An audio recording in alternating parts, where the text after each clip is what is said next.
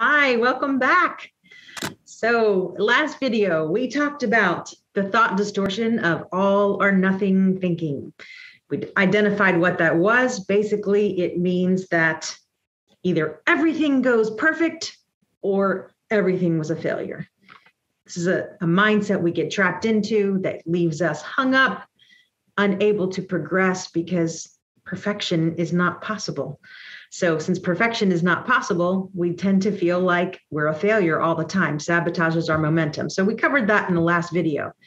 Now, if we've discovered that we function in all or nothing thinking, or someone we love and care about is killing themselves stuck in this sabotage of all or nothing thinking, what are some things we can do? So, that's what we're going to talk about today there are things we can do to kind of uh, it's called cognitive restructuring right? This is a cognitive thought distortion. So, this is cognitive restructuring that we can restructure our thoughts. We can restructure how we think about things, how we respond to things. And that's the blessing. It's one of the beautiful gifts God has given us is that we have the ability to change, we have the ability to grow. Um, this kind of separates us from the plant kingdom and even the animal kingdom is that we get to have a growth mindset. We are made in the image of God. And therefore, we get to go on this grand journey, this grand adventure of being transformed into his image. So, change your thinking, you change your life. If you find that all or nothing thinking is an issue for you, it leaves you in that binge purge cycle or in that um, manic get everything done until something goes wrong and then pooh, I plummet and fall. If you find yourself in that cycle, you can renew your mind. Scripture tells us, right? This is, you need to step into, I know we're talking about sort of psychology and things in the natural realm, but step into the spirit realm with me for a minute and realize that there's a source for some of these situations. And First Corinthians 2 14 tells us the natural person does not accept the things of the spirit because they're folly to him. He's not able to understand them because they're spiritually discerned.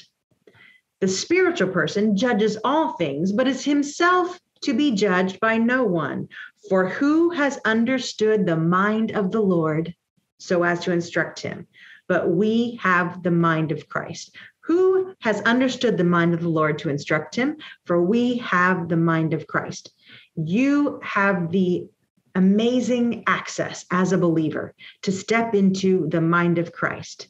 So even when your own mind feels cluttered or feels like you're failing or falling apart, confusion, whatever it is that's combating your mind, even when anxiety is coming your way, you have access to step into the spiritual realm and access the mind of Christ. It's a beautiful thing. Have this mind among yourselves, which is yours in Christ Jesus. We have the opportunity to be transformed by the renewing of our mind. That's in Romans. Don't be conformed to this world, but be transformed by the renewing of your mind.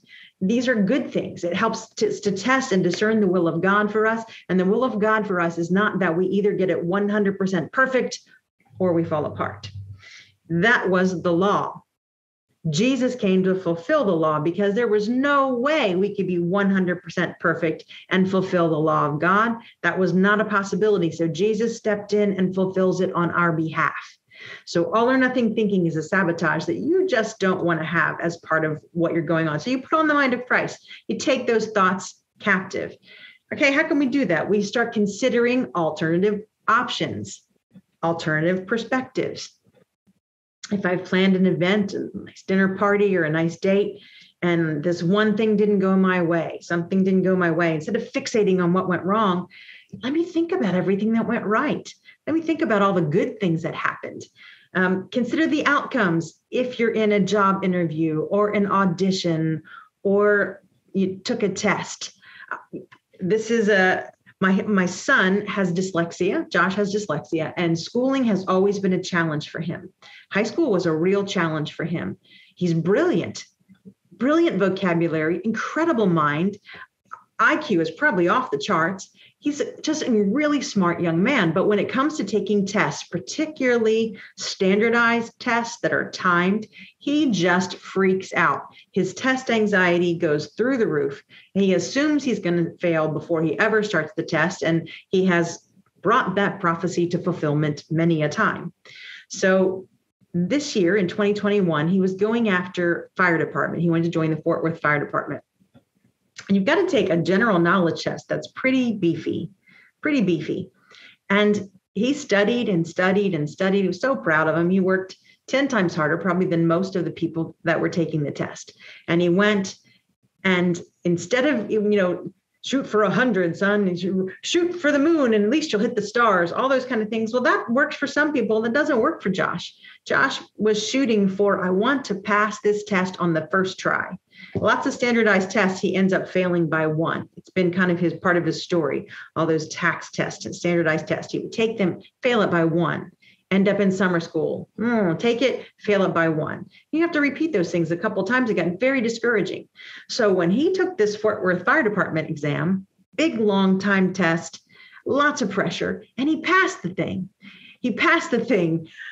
And when he came home, we went, and I think he got a 78 was the score I'm not positive. I we look, we've got pictures. We went out and got the giant balloons of the number, and we're standing in the yard celebrating that 70. I think it was 79, celebrating a 79 because 70 was passing. Yeah, 79. So we're out there. We've got champagne poppers and we've got silly string, and we're out in the yard. And I know people thought we were nuts. Like, what in the world? Why are you celebrating a 79?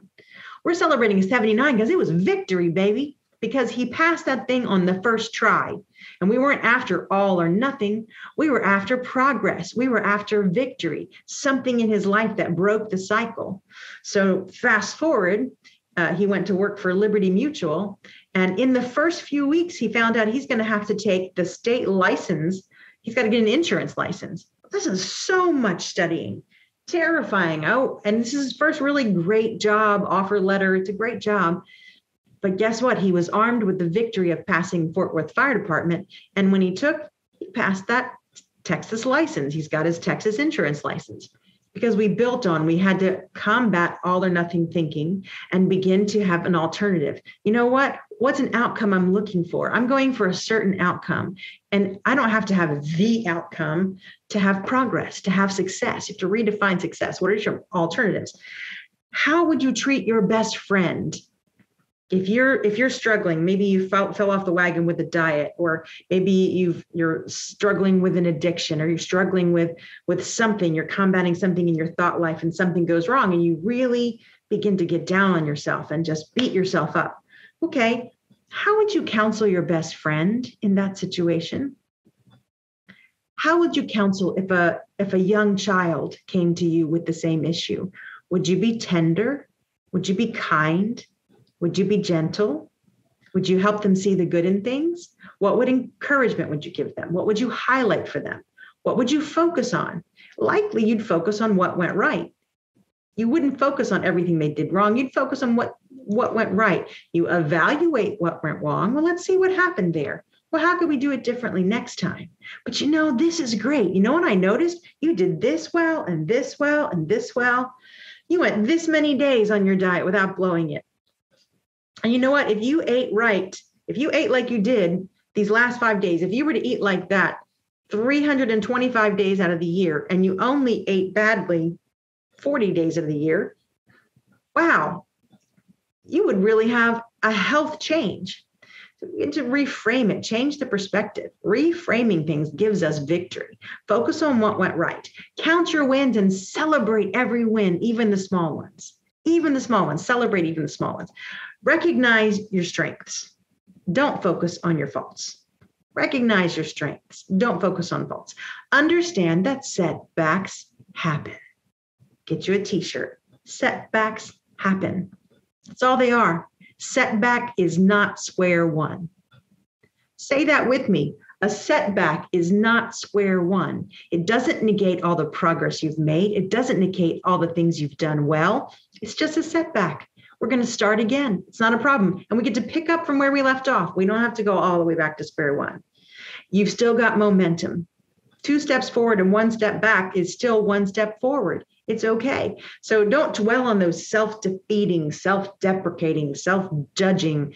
Uh, don't don't dwell on those thoughts. Think, okay, I made progress. I made progress. I'm I'm growing. I'm going from glory to glory. I'm changing. Find the positive find the positive in things and and try to avoid those those nothing. I'll never do this. I'll never it's never going to happen. Nothing nothing ever goes right for me. Those never nothing those kind of terms those all or nothing terms those superlatives keep us locked in that framework. You have to celebrate the progress. You're moving forward. Every day you're getting a little bit better. You're growing a little bit stronger. Day by day we get better. We get stronger and build on that. Build on that success. Build on those things. Put on the mind of christ. How do you see me father in this situation? So i want you again to, to recognize as you find yourself falling into that pattern if you're falling into an all or nothing pattern if you feel yourself in the binge purge cycle if you begin to just really walk into self condemnation and self judgment i want you to pause. Say no I'm going to put on the mind of Christ. God, show me the progress. He is a long game God. He's the long game God. He sees your end from your beginning and he knows your middle. And he's not at all surprised that you fell off the wagon. He's not at all surprised that you had a slip up. He knew it was coming before you did, and he had a full measure of grace at the ready for you. So I want you just to begin to recognize when you fall into that trap of all or nothing thinking and begin to celebrate the good, focus on what went right, evaluate what went wrong so you can do it better next time, but focus on what went right. Take yourself out of that pattern, that all or nothing thinking pattern that sabotages your soul. Okay if you've got friends in your life or relatives in your life, when you find them in that all or nothing thinking, you can use language to help them. Well, tell me what went right. Okay, I know, I know, I know that was a hard thing. I know that went wrong, wrong, but what happened that was good? Wow, you did this right and you did that right. This is good progress. I want to celebrate you. Let's celebrate your progress. And you can begin to help them move out of that all or nothing thinking simply by your conversation and your speech instead of coming into agreement with what's uh, galvanized around I'll never be and this is wrong and nothing's ever going to work. You can begin to break them out of that galvanization and look at new perspectives and new possibilities. So, Father, I thank you for this revelation. We thank you for knowledge that transforms us. We thank you that we are going from glory to glory. And we thank you for the process that's in between. Thank you for breaking us out of all or nothing thinking and helping us to put on the mind of Christ, that we can work and walk and win with you. In Jesus' name, amen. Thank you. Be sure to hit like, subscribe, leave a comment. Stay tuned for more. God bless.